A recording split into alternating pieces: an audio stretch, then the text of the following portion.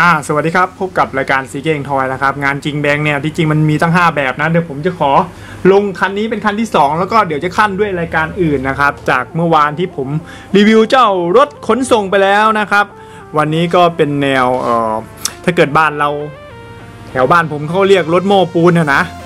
ตัวนี้เป็นสีน้ำเงินนะครับบล็อกอาร์ตกล่องก็จะประมาณนี้เลย เป็นแบรนด์ของประเทศจีนนะครับ ผมคงออกเสียงถูกนะ Jing Bang ใช่ไหมโอเคนะครับเป็นรถโม่ปูนนะครับ box art กล่องก็จะเป็นลักษณะอย่างนี้ เป็นกล่องนะฮะกระทัดรัด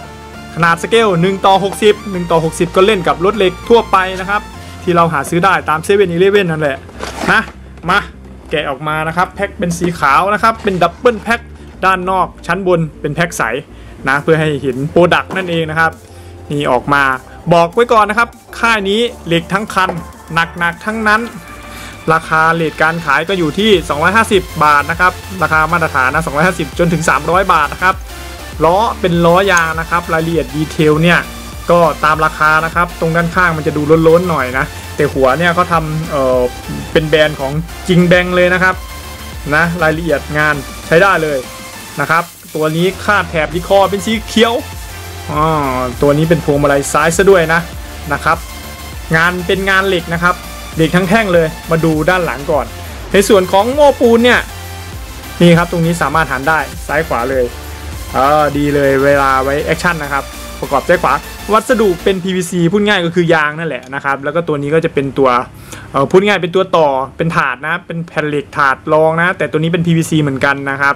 อะมาดูใต้ท้องนะครับใต้ท้องก็กวงๆอย่างนี้เลยนะครับ ก็คงไม่ได้โชว์อะไรนะครับ แต่งานเนี่ยหนักนะ ลูกเล่นที่สำคัญของตัวนี้นะครับ เดี๋ยวจะเล่นให้ดู ก็คือตัวนี้เป็นพลาสติก เวลาเราหมุนเนี่ยสังเกตนะครับตัวลูกโม่เนี่ย มันก็จะหมุนตามนะครับเดี๋ยวผมหมุนให้ดูนะนี่ที่พี่เก้งหมุนนะครับ เห็นไหมโม่มันก็จะหมุนตาม ถ้าเราใช้มือหมุนเนี่ยไม่ไปนะครับ มันเป็นลักษณะของฟันเฟืองนะ ต้องใช้ลักษณะของมือหมุนนะครับ เป็นลูกเล่นนะครับ ที่มากับรถคันนี้ ถือว่าแจ๋วเลยนะ เช่นเคยนะครับเพื่อให้ชัวร์เกี่ยวกับสเกลนะครับค่ายนี้สเกล1ต่อ60 เป็นยังไง ก็คงต้องเทียบกับ 3 แบบนะครับ เช่นเคยนี่สามสามแบบ3ค่าย ก็เป็น Majorette กับโทโทมี่ Tomica นะครับ1ต่อ60 อันนี้คือสเกลเดียวกันนะครับ ก็คิดว่าเนียนได้นะ แต่ที่ความเหลื่อมล้ำก็คือตัวล้อนี่แหละนะครับล้อมันจะใหญ่กว่านะครับแต่ผมดูจากหัวเก๋งหัวอะไรพวกเนี้ย ก็มาเนียนเล่นกันได้นะครับนะเดี๋ยวผม preview ภาพสวยๆให้ดูนะครับ ว่ารายละเอียด detail ยังไง เพื่อประกอบการตัดสินใจของเพื่อนๆ หาได้ตามกลุ่ม Facebook นะตัวบุคคลที่จะขายงานชิ้นนี้นะ่ะยังหาไม่เจอนะครับ ใครเจอแนะนำเพื่อนๆปักหมุด เดี๋ยวผมปักหมุดไว้ให้นะ ใต้คอมเมนต์นี้นะครับ ถ้าเกิดใครหาเจอนะ แนะนำบอกต่อกันด้วยนะครับไปชมภาพสวยๆกัน